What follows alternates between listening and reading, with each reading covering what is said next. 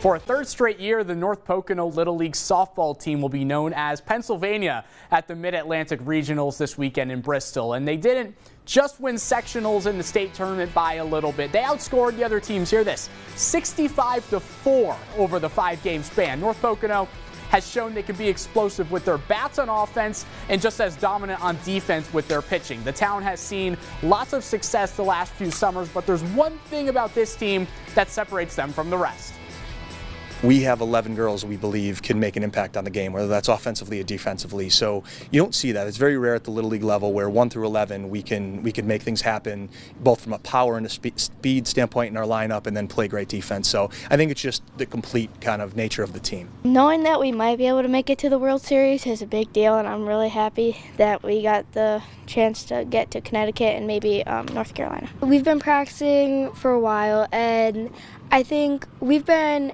close as a team since we were really young and I think that really helps us develop not only like friendship but family with our team and that kind of makes it easier. We could rely on each other more.